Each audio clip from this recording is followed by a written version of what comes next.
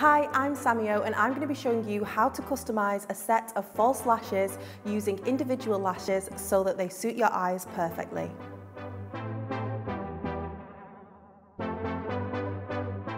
To keep the false lash in shape, work with them while stuck in the original packaging.